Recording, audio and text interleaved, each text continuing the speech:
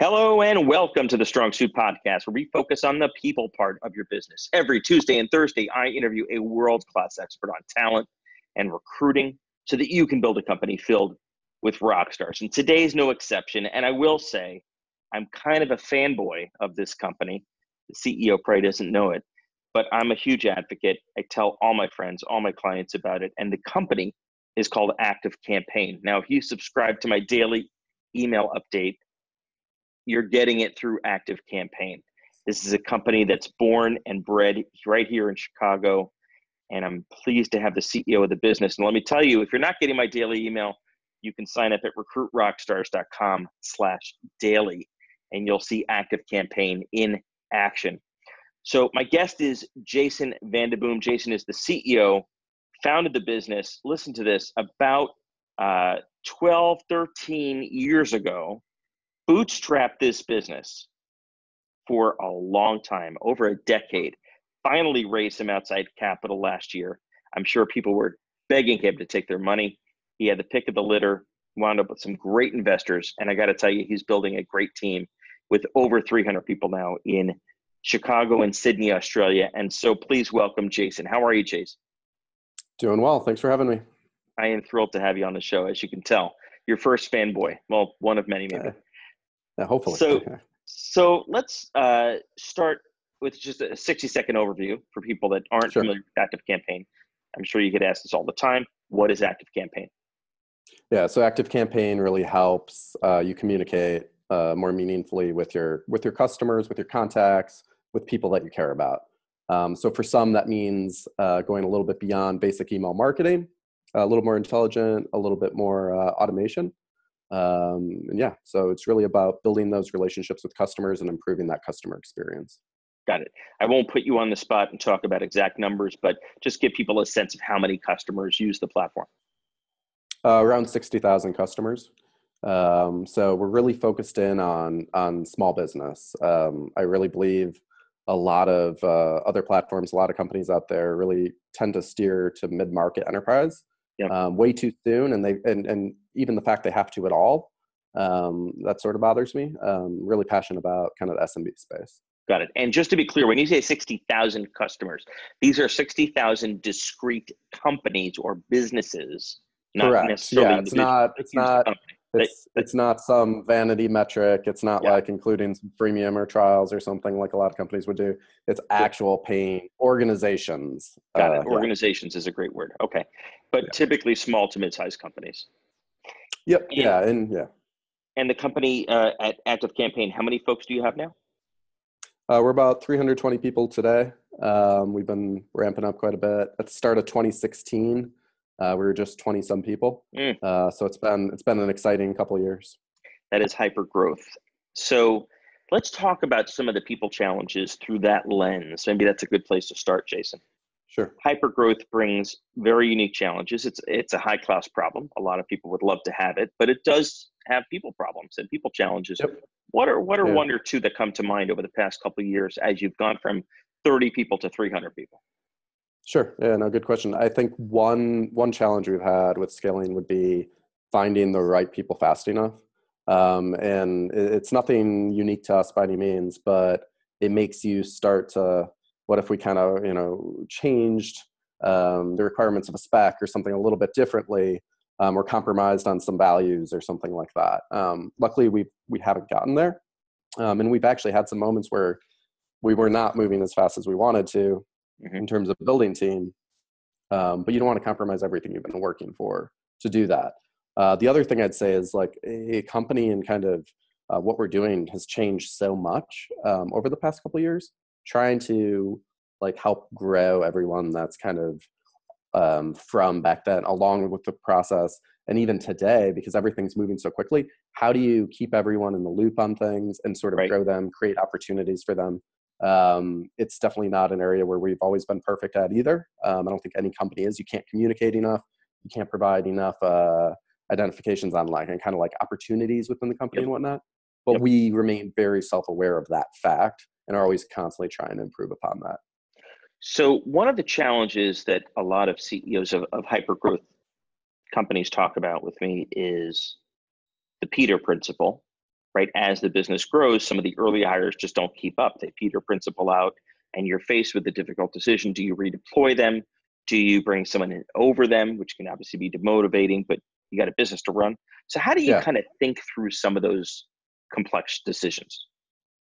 Yeah, I think you you sort of one try to stay ahead of as much as you can, and that's in part like trying to help people scale, whether that's um, internally, whether that's education, whether that's finding some people from the outside to help, um, but then also allowing like you know sure someone may not still like uh, the role they're in um, given where the scale is today uh, but maybe there's something else within the org. So we've had a lot of great internal movement, um, not always like you know standard stereotypical movement uh, in terms of like completely switching departments focuses, yep. because those people like while like what you're saying is true, um, they have a ton of like historical knowledge. They have a ton of knowledge around like what really matters uh, to the company from being around uh, for a longer period of time, and that's critical um, because you'll end up in a state even as we do now where the majority of people in our office are fairly are new within the last 12 months sure um, and you need more people more advocates for the values and things like that got it and those early people to your point are so crucial because they they hold the dna of the company right yep. they yeah. were yeah, at, yeah. they were there at the beginning and one of the challenges of course of is how do you keep them motivated when you do have to bring in a professional manager perhaps over them that they report to and you still want them to stay desperately, they yeah. go, well, why didn't I get it? And then they have that difficult discussion. Any any tips on how to handle that? Um, I think it's uh, if you can show any examples. Obviously, for the first one or two situations like that, um, it's a, it's a, just a little bit of a fun situation, perhaps. But I think pretty quickly we've been able to show um, that it actually provides more growth for people. Got it. Got it. Um, it actually and and what you find, I think, if you actually have a true like genuine conversation with someone, if you reach that sort of tipping point, um, they're feeling pressure as well. Sure. Um, and and so like um, it could very well be that they actually want some help, or yeah, maybe they, they want to keeping up. Focuses.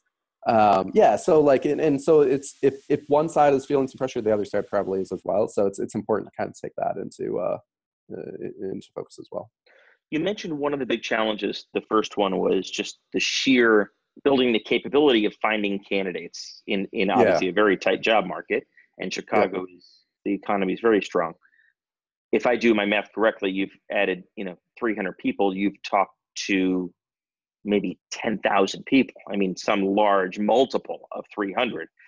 Where, what kind of, how have you built that pipeline? Have you built an internal recruiting team? Do you use outside firms? Is it job boards? What are you using to? Yeah, no, great question. It's it's definitely been a combination. So earlier on, um, it was very much focused on external recruitment um, and using external recruiters, and that actually worked really really well for us.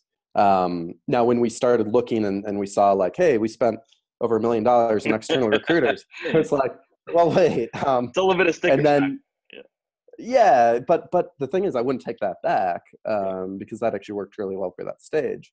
Um, but bringing it in house to a degree um, so that we do have a pretty built out people team now uh, with some amazing recruiters that are doing talent acquisition people that are constantly kind of uh, continuing to move things along but i'd say there's still room at times whether it be specific roles specific areas uh, to bring in some external recruiters now and then your people team and your talent acquisition can sort of help ensure that it's a consistent process because the fear you would have with too many uh, people working on it is overlap um, sure. or just having a bad candidate experience and that's been sure. um, you know like nobody's perfect at that by any means but like when you're talking to so many people and you have so many things going on um, what you don't want to do is have that candidate experience suffer because it's going to make your job so much harder because um, while Chicago is like a, it is a hot market, people have plenty of opportunities. At the same time, it's somewhat close knit in the way of people talk.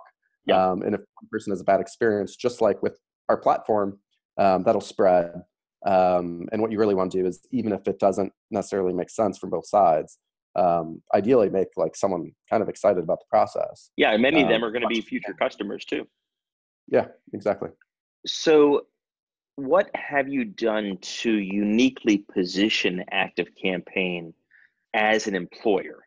I always believe you you're not you can't pay top of market. There's always someone that's going to pay more than you.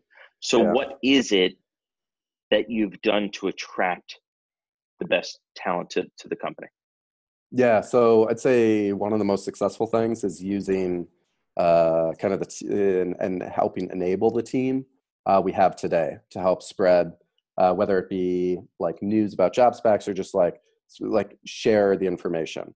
Um, oh, that's so far more authentic. program, you mean? Yeah, yeah, that's far more authentic than anything we can probably do. Yep. Um, the other through that and also directly um, try to convey uh, the culture in a way, and and that's a that's a tricky thing because everyone talks about it. and I'm not a huge fan of like defining it exactly, yeah. um, but allowing glimpses into that. How do you do um, that? Where um, what we found is uh, worked really well is video. Mm-hmm. Um, so we've done a lot of video of like team specific videos, yep. um, company wide videos, and it's like it doesn't tell you a whole lot, but gives you these small indicators of like what we probably care about and kind of the tone of things. Got it. Um, and then from there, um, you know, your candidate experience is kind of setting it as well. Um, but I think you know once if you fully engage with the people you're working with, um, include them as part of the process, get their feedback, and try to take action on things you can.